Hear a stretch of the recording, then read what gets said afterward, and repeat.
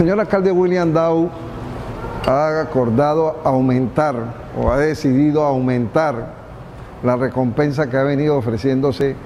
por la aparición que todos los cartageneros y cartageneras venimos haciendo y trabajando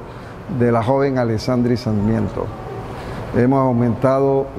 por parte del señor alcalde a la suma de 30 millones de pesos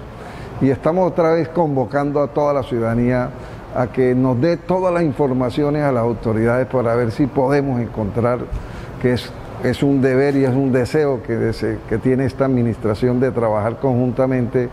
con las autoridades, pero también con el pueblo cartagenero, a que aparezca esta joven.